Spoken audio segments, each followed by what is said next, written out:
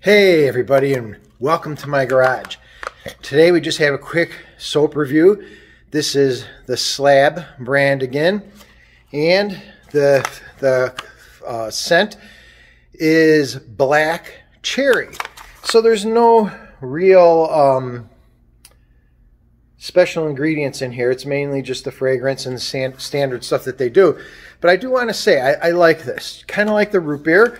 Um, I love cherry, so black cherry is very good for me too. Um, it, it's a very good scent, not a real strong scent, but um, again, very nice. Overall, I would give this a um, probably a 7 out of 10. I really like the, the flavor. There was no exfoliation in this one, so it's really more about the scent and uh, you know what you like and don't like.